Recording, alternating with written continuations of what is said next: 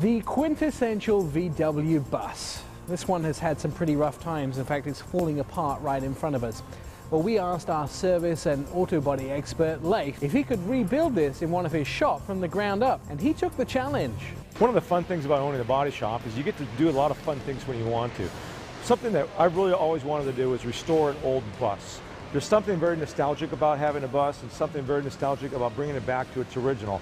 The problem is that the original bus wasn't really that great of a vehicle from the standpoint of safety, speed, handling. So what we're going to do here is we're going to take this bus over the next 15 months and we're going to restore this to its original shape, but we're going to add some things from today's world of technology and to give it some speed, give it handling, give it better braking, and give it a little more, a little more safety, and turn it into an urban warrior. One of the things that's really cool about this thing is it's got these old seats in here that are low back, and the ability to have a lot of room in here when you're driving. Even though you, you have this room in here, it's very uncomfortable. So what we're going to do is we're going to put seat belts into this thing that aren't in here right now. We're going to change this seat out and make it a little bit more retractable. We're going to put some interesting video, audio, iPad. One of the cool things about this space here here. And because of the rare dual doors, this is the ultimate tailgater. Pulling up in this, having your flat screen right here, having your satellite dish and being able to watch the game with your chairs, your coolers, and everything in here, I think that's pretty cool.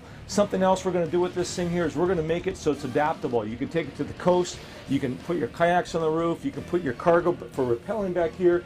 We're going to make it just, it's going to be cool, but it's going to be rugged. It's going to be available. You're going to be able to use it as a daily driver. So watch us over the next few months online or on Facebook as we build this thing out. I hope you'll join us. If you have questions for Leif, you can email him via his website at leifs.com or via our website at therideshowtv.com.